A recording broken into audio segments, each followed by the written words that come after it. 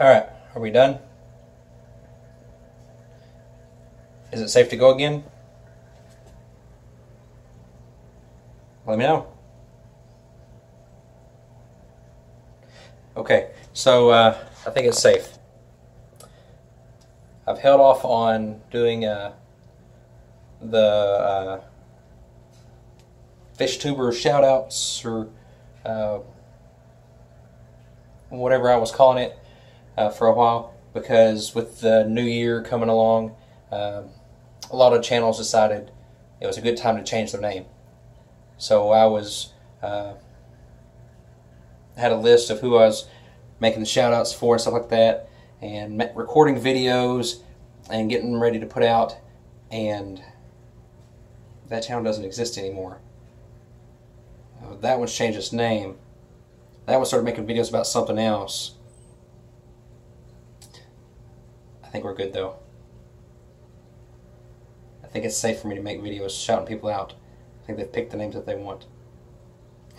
all right, so um, all seriousness, um, I've got three channels this week, or this episode, or whatever you want to call this thing. I'm not doing it weekly.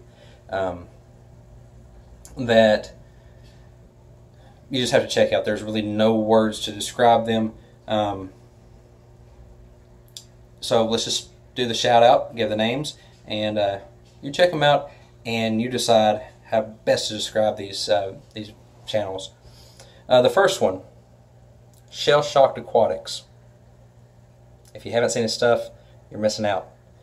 Um, DeFreeze Aquariums and I think I'm pronouncing that right. I always pronounce everybody's name wrong, but uh, DeFreeze Aquariums.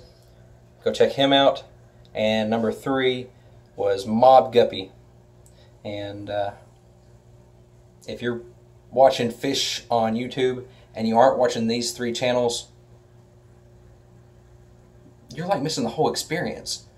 Uh, these three channels make up the whole thing. You, you got to see these these three. So if you aren't sub to them, go sub them and watch them. And, you know, tell me, come back here, leave comments on what you think about the channels of those three. Um, like I said, there's no words to describe them. They're just great channels, uh, very entertaining, and uh, I don't know why you wouldn't already know about these three if you're watching fish stuff. Because they're like some of the best channels out there. Anyways, go check them out. Come back here, leave a comment, let me know what you thought, and uh, yeah, we'll see you next time.